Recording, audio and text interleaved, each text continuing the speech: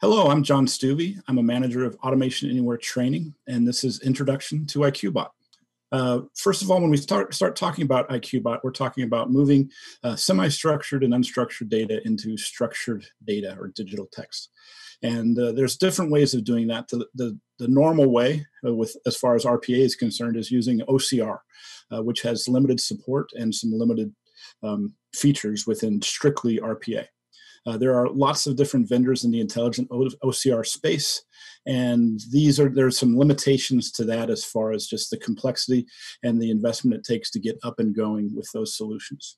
So we've gone through and found the best of both worlds. Um, we've gone worked through 14 years of our domain expertise in RPA to combine the right set of AI technologies in a cognitive solution that can be trained and operational at scale with about 60% straight through processing within a few weeks. Our computer vision uh, uses AI technologies like that which is used for self-driving cars. We use natural language processing and fuzzy logic, um, machine learning, language translation, sentiment analysis, and chatbot. Those three uh, can be leveraged using third-party AI libraries through our RPA tool. So the integration of both uh, cognitive technologies like computer vision and fuzzy log- logic and machine learning, along with language translation, sentiment analysis, and chat, allow us to handle business processes across several domains. Uh, what really makes us more efficient is the cost it takes to get set up. Uh, with intelligent OCRs, there's a, a long lag time. Uh, we can get IQBot up an hour couple hours per bot for different types of, of document training uh, can get them up and, and moving so that we can produce uh, the, the benefits that we have from transitioning from semi-structured data to structured data within the automation processes. Uh, this is the, the typical process uh, before, uh, where with which results in about a 30 to 40% straight through processing. Uh, people have to classify documents and sort them out. Then they go through an OCR attempt, and processing failed docs requires people to look at the documents and make a determination whether it was a good scan or not. And then they validate that processes or the outputs of those documents through the back office. Uh, at the end of that, those two manual processes, we can go back to automation and trigger the approval workflow, and then people at the end can can uh, can finalize that review.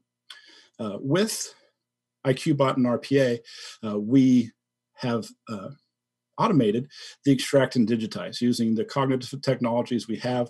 Majority of that work is done with uh, just RPA with with our cognitive services, and then after the training of that, uh, the bot handles those documents completely on its own. Uh, there is a human in the loop for any failed documents, but as they go through that validation process, it uses machine learning to inform the, the cognitive solution uh, how to, to process uh, similar errors in the future. So over time, straight through processing grows and grows. Uh, after the process is finished, then we validate and trigger like we would before, and then we can also have assisted approvals process where a bot and a human can work together. This is pretty much what every business process have, has in common data capture, enrichment, validation, processing, doing the actual work, reconciling that to make sure we have good audit and accuracy, and then analyzing reporting. Our cognitive solution, IQBots, helps us with the data capture, helps us with the data enrichment. All those things can occur prior to the robotic process automation and then a smooth handoff between the two. Uh, this is the real benefit of using our cognitive solution in accordance with our RPA solution. So um, next thing I want to do is just go through how we how how this starts. How can we start an IQBot process by going through a learning instance or what we call training alert learning instance. Uh, first off, we need to have pretty good quality documents. We need to have them in a in a valid image format. Could be either vector or raster or combination uh, TIFF, PNG, JPEG, vector. All those are different image formats that we support. We also support regular uh, vector or raster PDF files or even plain text PDF files. It's best to use original scans rather than scans of scans, and it's best to scan at a fairly high DPI or 300 DPI is what we recommend. Documents should be less than 10 megabytes and should be should have a fairly structured, um, maybe a semi-structured format and each document should be in a separate file. The process we're going to move through as we go through this is to create the learning instance, classify it, and let the, the cognitive solution go through a classification step. Uh, train the documents and let, let the uh, process learn uh, where to find the information that's looking to extract, and then finally move that cognitive solution into production where we're working with uh, real uh, documents that have been scanned and removing them through the IQ bot. So with that, I'd like to go back to um, my demo portion. And today I'm going to be using the community edition of IQBot. Uh, with this, we have the ability to get started by creating a new uh, learning instance. And the first part of this opens up the learning instances portion of the IQBot uh, control room.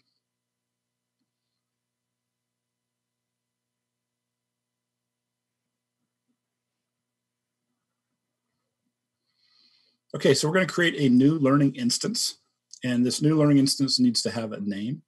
Uh, what I'm going to do with this learning instance is process a set of invoices.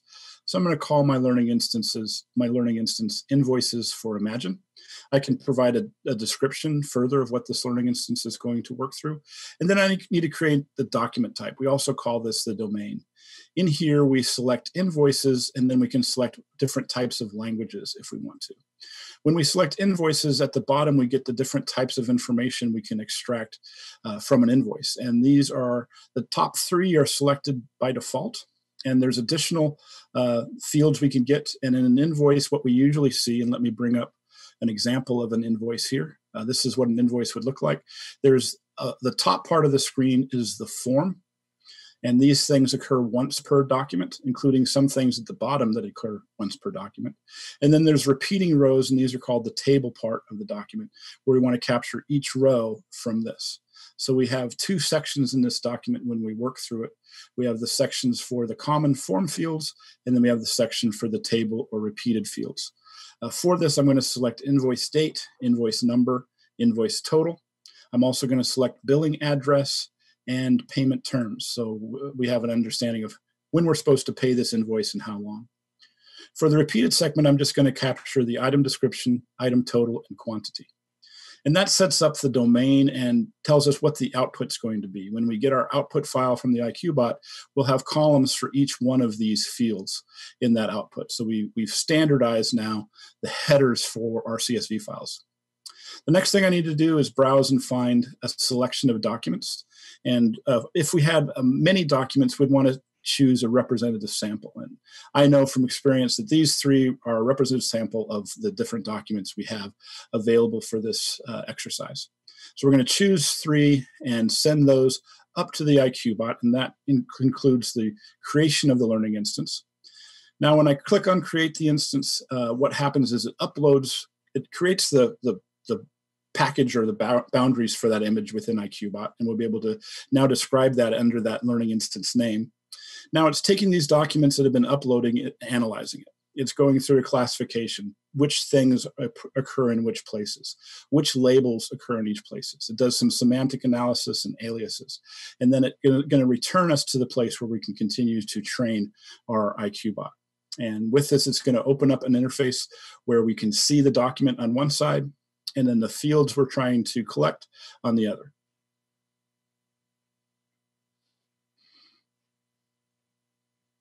So here's an example of the first document, and it, it automatically formats these. If we have similar documents, it'll gonna, it's going to group them into one. And we can see each document by clicking here on View Each Group. So this is invoice one. It looks like this. And we can move to the second invoice and choose either of these as the training target. And in this case, when, we, when it reveals, finishes processing what that document looks like, we'll see the, the appearance is the same, but many of the, the labels are the same format and the format of the document is similar. So it's put both of these invoices in the same, uh, in the same field. So we're going to go back to our original, um, the, the one it picked first as its training sample and examine what it was able to do through its analysis of this document and documents like it, it was able to say, I'm able to confidently select the invoice date by this label. So the invoice date field has a label on the document as invoice date, and the field value is here, 22nd August 2019 or 18. Long time ago. Uh, you'll notice in the scan, you'll have little blue lines. These are called system identified regions. So it understands there's information in these blocks and it identifies which block goes with which label automatically. So all these green check marks is IQBot saying, this is what I think is right.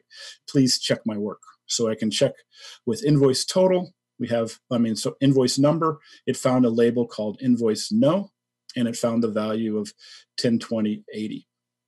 For invoice total, it found invoice amount at the bottom and associates that with the right data.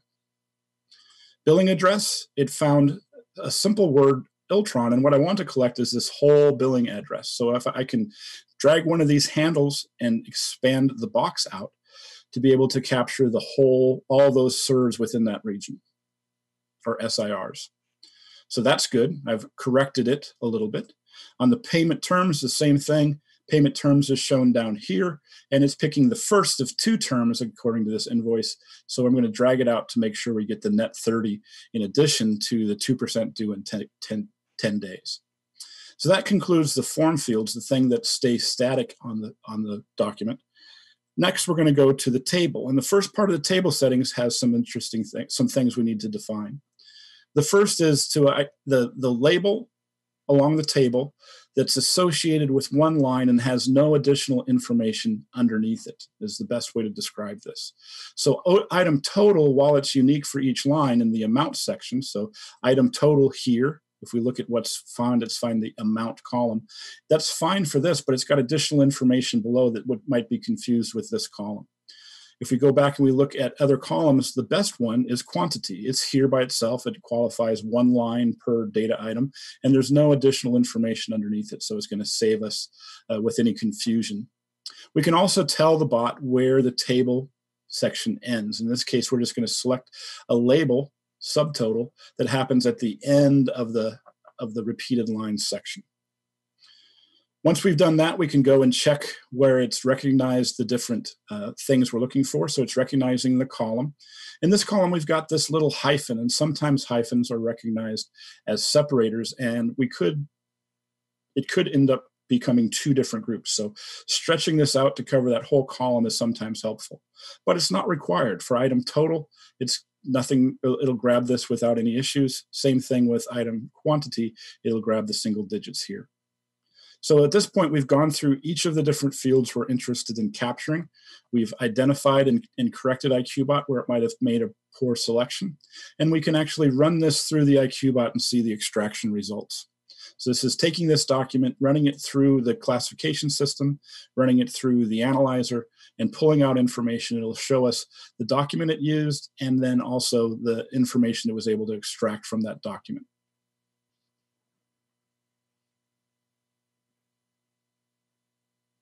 So here's the first document, it has the one with the, the, with the scripted A logo. The information that extracted is here, and we could do a quick check, as well as the table repeating sections and seeing that we're getting the full descriptions for each one. And then up at the top, we can see these arrows enabled to get to the next document. I can click on that, wait for it to process, and then we'll display the second document and the information extracted from there.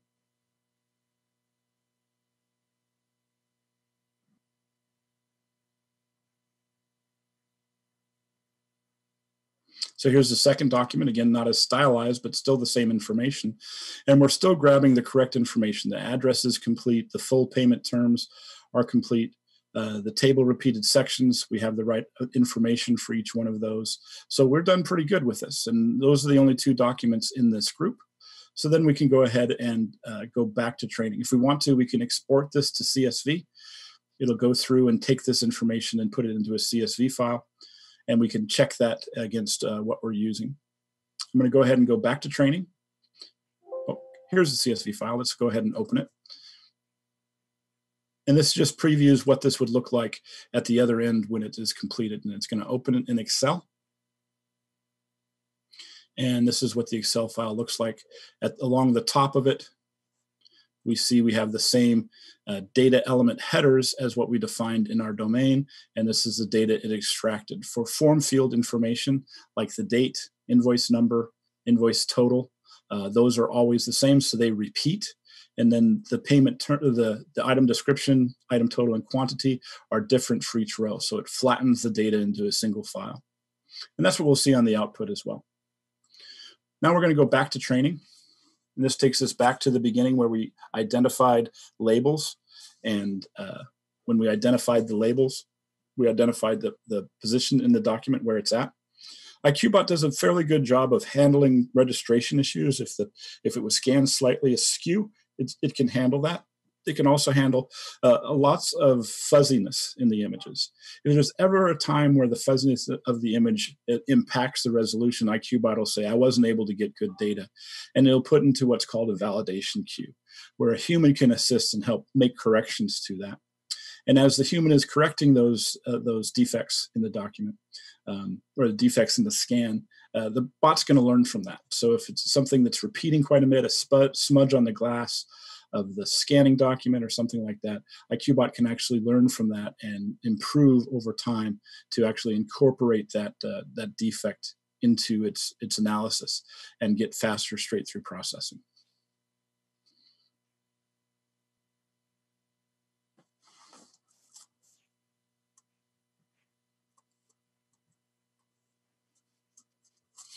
Okay, so now we're complete. We've gone through it. We looked at the extraction results. We've seen the information here, so we can go ahead and save this group of documents and go to the next group. So remember, we uploaded three documents. We've seen two, and now we're going to go and train on the third document, which is a slightly different style than the first. So we're going to wait for that document to load.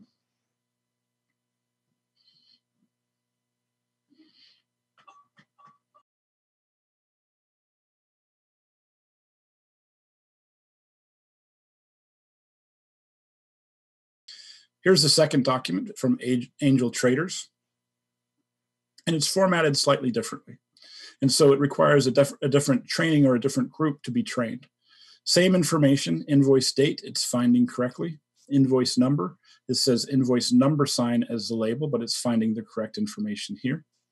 Invoice total, same thing down here at the bottom.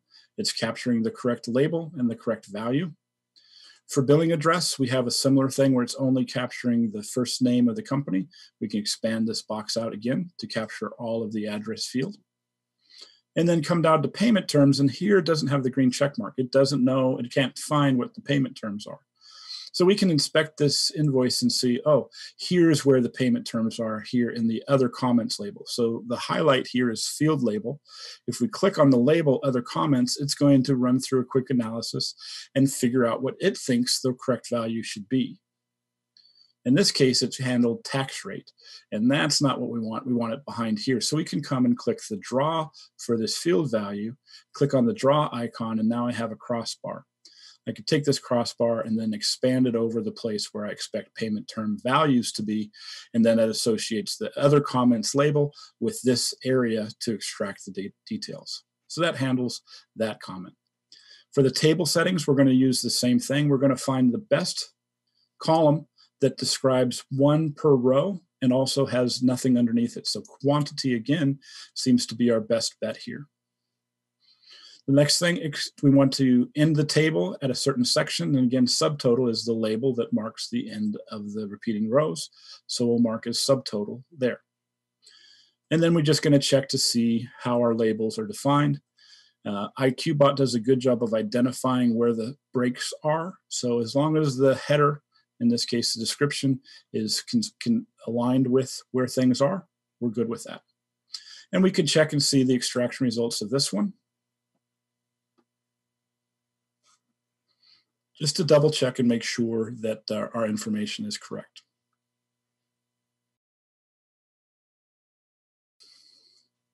Okay, so here's the output for the Angel Traders document, and we can see the information was extracted correctly, along with all of the items from some item to December soup. Everything was extracted correctly, so we can go back to training. And when we're back with training, we're going to save and close this one, and we'll be done with training this instance.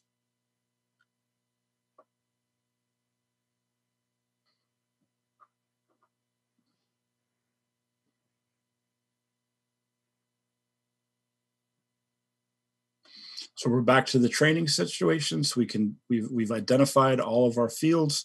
We can go and save uh, this instance as well. So both groups have we've reviewed and trained each group. We're going to go back to the learning instance screen.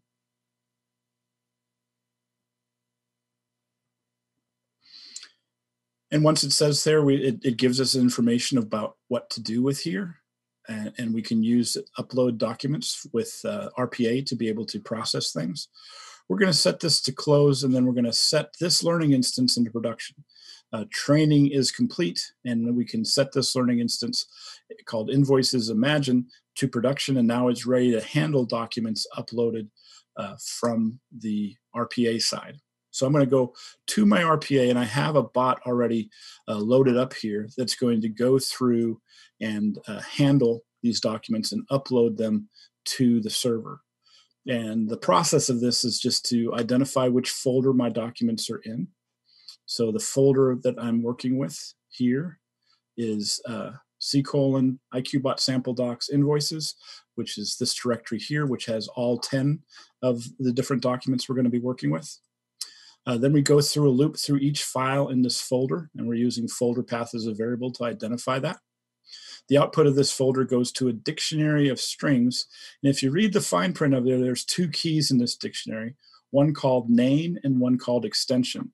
And we can use that in the upload process. And when we go to the upload process, it's going to communicate with the IQBot server to identify which learning instances are available. And this is from a previous, uh, and then we loop through this folder. And the output of that folder is a direct dictionary of strings. And in the fine print, it says there's a name key and an extension key uh, for the file extension. So inside this loop through files and folders, I'm using those three elements. The first one is the folder path for the directory that I'm, I'm has the files. And then there's a direct dictionary variable with name key, a period, and then a dictionary uh, variable with an extension key will upload these documents. So with all that, I can save my bot. And I've selected the, uh, the learning instance we created here from this drop-down menu and then saved the bot. And now I'll run the bot. And it should run and upload to my, upload those documents to the IQBot server.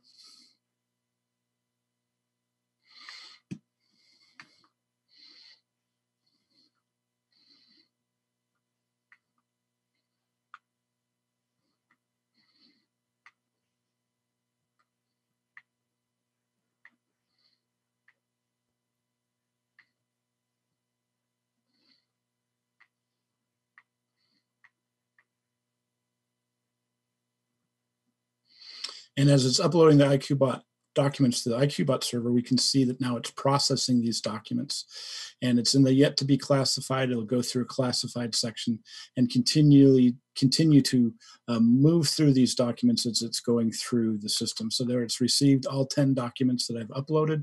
It'll start sorting through these documents here. When it's finished with the process, we can go into IQBot. I'm going to create another bot to download the documents or the extractions that we were related from this. So I'm going to create a new bot in private and create a new bot for extracting the, the information. So we're going to call this IQBot download.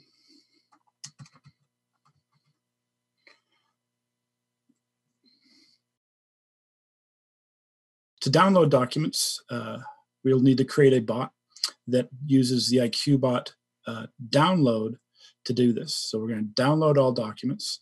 For the download all documents step, we're going to choose the learning instance name, uh, which document status it is, success or failure. You can choose success, invalid, unclassified, or untrained. In this case, we want to get the results of a good training.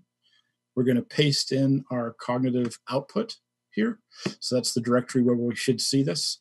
And I'll go ahead and delete the files on the server when it's happening and save my response to prompt assignment. Apply that and do a quick message box to uh, show the results of this process by showing the message that's stored in the prompt assignment. I'm going to click on apply, click run. Oh, make sure I save my bot,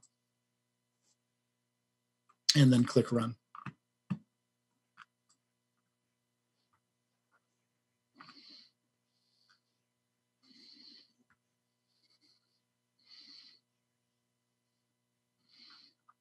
Success. That's what we like to see, and success from my bot.